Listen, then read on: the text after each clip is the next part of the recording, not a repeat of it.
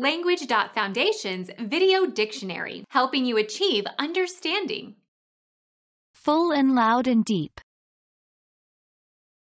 A herald chosen for his sonorous voice.